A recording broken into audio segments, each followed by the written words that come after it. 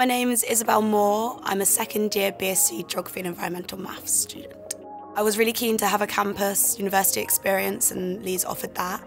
I also liked how high up Leeds was ranking in terms of geography. It's very varied, as it is 80% geography and 20% maths. The geography that we study, um, so in first year, is a big range. I want to like kind of like ground your knowledge. You go from geomorphology, which is like the study of the land and how it moves and how it changes, and also the living planet, so ecology, which is really interesting. The maths that we learn is really relevant to geography, which is good. So, for example, we're currently studying the wave equation and how that can be implemented in um, seismic waves and earthquakes. First year, we're taught in quite a lot of detail how to collect your own data and then how you can analyse it and manipulate it to make your own conclusions. For example, we did fieldwork studying the urban heat island of, in Leeds, collecting our own data on temperature, air humidity and wind speed and then we did that for our own assignment so we actually used our own data.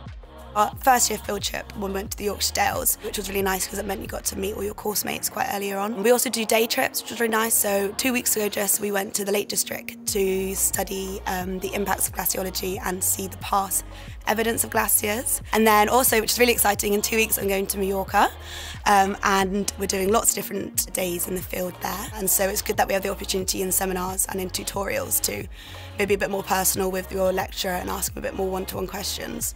It's also good they always make aware that they are on the end of an email and so if you are stuck during an assignment or just at the end of the lecture you didn't really understand anything, they're always there to answer questions. The facilities at Leeds are exceptional. The like scientific equipment's really good. I did a lot of work in the lab studying soil samples and also tree rings. I'm really passionate about sustainability. Unfortunately, we are in a climate crisis and so I do want my work to be impactful.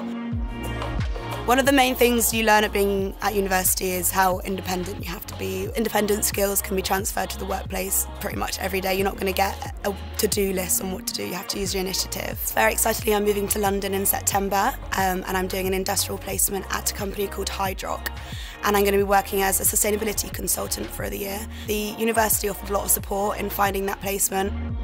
I would say immerse yourself as much as you can into all the opportunities that are available and just make the most of it.